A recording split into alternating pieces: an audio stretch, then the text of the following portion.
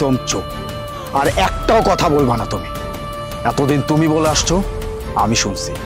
আজকে আমি তোমাকে বলব সেটা তুমি শুনবা। আলিফ তোমার সাথে তো আমি কথা বলা বন্ধই করে দিয়েছিলাম। কিন্তু লাস্টবারের মতো চিন্তা করে দেখলাম যে তোমার সাথে একটু কথা বলে যাই। হ্যাঁ বলো কি বলতে চাও? তোমার আর আমার রিলেশন কয় বছর হবে? তিন বছর তাই না? এই তিন বছরের মধ্যে তুমি এখন পর্যন্ত নিজের পায়ে নিজে দাঁড়াতে পারোনি। এখন পর্যন্ত একটা জব খুঁজে পাওনি। আচ্ছা আমি বাবার কাছে তোমার কথা কি করে বলি বলো তো? বাবা যখন জিজ্ঞেস করবে যে তুমি কি করো, তখন আমি উত্তরে কি বলব? এটাই বলব যে তুমি এই তো কিছুদিন পরেই জব খুঁজে পাবে, এই তো পেয়ে গেছি, এই তো হয়ে যাবে। আমাকে বলে এইসব কথাগুলোই বলব বাবাকে? না, মনি তোমাকে আমি আর কিচ্ছু বলতে চাই আর বলেও বা কি লাভ? তুমি তো আমাকে বুঝবাই না। আমারে কি বলবা হ্যাঁ? তোমার কি বলার সেই মুখ আছে যে বলবা, লুজার একটা একদম চুপ। আর একটাও কথা বলবা না তুমি। এতদিন তুমি বলে আসছো, আমি শুনছি। আজকে আমি তোমাকে বলব, সেটা তুমি শুনবা। কি বললা তুমি? শুধুমাত্র ছেলেরা মেয়েদের মন নিয়ে খেলা করে। মেয়েরা কিচ্ছু করে না। মেয়েরা দুধে ধোয়া তুলসী পাতা। আসমান থেকে পড়ছে এক একটা ফেরেস্তা মেয়েরা কখনো খারাপই হইতে পারে না। একটা ছেলে একটা মেয়ের পিছনে ঘুরতে ঘুরতে তার জুতার সোল পর্যন্ত ক্ষয় হয়ে যায়, যেটা আমারও হয়েছিল। তোমার পিছনে ঘুরতে ঘুরতে, তোমার মনে নাই? একটা মেয়েকে ইমপ্রেস করা কতটা ক্রিটিক্যাল তোমাকে ইমপ্রেস করতে যে আমার কত কি করতে হয়েছে, সবকিছু ভুলে গেছো তুমি? তারপর কি হয়? তোমরা রাজি হয়ে যাও। ছেলেটার ভালোবাসাটাকে তোমরা অ্যাকসেপ্ট করে নাও। সেদিন কিন্তু চাওয়া পাওয়ার সমাপ্তি ঘটে না। সেদিন থেকে সেই ছেলেটা আরও বেশি প্রেসারে পড়ে যায়।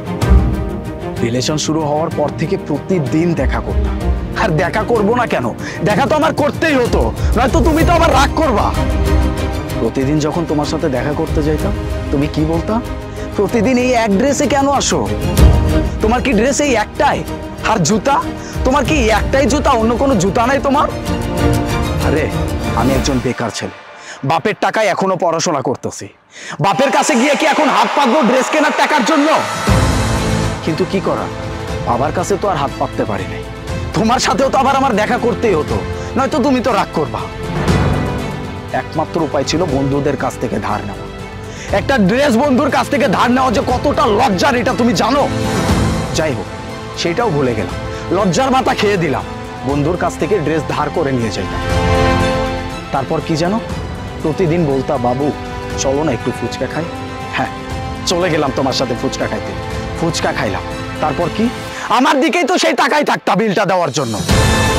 আরে, কোথায় লেখা আছে যে সব বিল ছেলেদেরই দিতে হবে সবকিছু ছেলেদের খরচ করতে হবে? তোমার বাবার তো অনেক টাকা। কই, তোমাকে তো কখনো দেখলাম না কোথাও বিল দিতে? একটা রিক্সা ভাড়া দিতে? তুমি জানো না, আমি বেকার, এত টাকা আমি কই পাই? যাক, তারপরের কথায় আসি। সারপ্রাইজ। তোমাদের তো সারপ্রাইজ অনেক পছন্দ, রাইট? সারপ্রাইজ দেখলেই ওয়াও, কত সুন্দর সারপ্রাইজ। একটা বেকার ছেলে, মাটির ব্যাংক ভেঙে কোথায় কোথায় থেকে টাকা ধার করে, কত কষ্ট করে। একটা বার্থডে কেক আর কিছু গিফট নিয়ে তোমার বাসার সামনে গিয়ে যখন বলছিলাম, বাবু, সারপ্রাইজ হ্যাপি বার্থডে তুমি কিন্তু খুশি হও নাই উল্টা তুমি আমাকে বলছিলা, আজকে তো আমার বার্থডে না, এটা তো আমার সার্টিফিকেটের বার্থডে তখন কিন্তু তুমি খুশি হও নাই। উল্টা তুমি আমাকে বলছিলে আজকে তো তোমার বার্থডে না। তাহলে কি? ও, আজকে তো তোমার সার্টিফিকেটের বার্থডে আরে ভাই, এটা যদি তোমার সার্টিফিকেট বার্থডে হয়ে থাকে, তাহলে এটা ফেসবুক ইনস্টাতে কেন দিছিলা? এইখানেই তো শেষ না। আরও কত কিছু। কি যেন বলছো? আচ্ছা বাবু, আজকে তো আমার সার্টিফিকেটের বার্থডে তাহলে এই গিফটগুলো আমি রেখে দিই। কিন্তু বাবু, আমার তো দুই দিন পর রিয়েল বার্থডে তখন কিন্তু আমাকে ট্রিট দিতে হবে। আমি আমার সব বান্ধবীদের ইনভাইট করে রাখছি। আমি তোমার সেই ট্রিটটাও দিছি। তোমার বান্ধবীদেরকেও খাওয়াইছি। কিন্তু কোথায় থেকে এগুলো অ্যারেঞ্জ করছি, সেটা তোমাকে আর নাই বলি। আর কি যেন বললা তুমি? আমি চাকরি পাই না। আমি একটা লুজার আরে কীভাবে চাকরি পাবো আমি? তোমাকে সময় দিতে দিতেই তো আমার সময় শেষ। আচ্ছা তারপর। আমার যেদিন যেদিন ইন্টারভিউ থাকতো, রাতে তুমি আমাকে কল দিয়ে কি বলতা? বাবু, আমার না আজকে মুডটা ভালো নাই। তুমি আমার সাথে একটু সারা রাত কলে থাকবা? আমি তোমার মন রক্ষার্থে সারা রাত তোমার সাথে কথা বলতাম। ঠিক মতো ঘুমাইতে পারতাম না। আর পরদিন পরদিন কি হইতো? আমি ইন্টারভিউ মিস করতাম। কিন্তু দিন শেষে কি হলো? তিন বছর পর সেই তুমি আমার সামনে এসে আমাকে বলতেছো, আমি এখনও পর্যন্ত কিচ্ছু করতে পারি নাই, আমি কি করতেছি? আমি একটা লুজার তুমি রিলেশনে থেকে আমাকে কখনো সাপোর্ট দিছো? আমি কীভাবে করব এত কিছু? আমি অনেক চেষ্টা করছি, কিন্তু আমি পারি নাই। ঠিকই এখন এসে ফ্যামিলির অজুহাত দেখিয়ে আমাকে ছেড়ে চলে যাওয়ার জন্য আসছো এখানে। মেয়েরা আসলে এমনই হয়।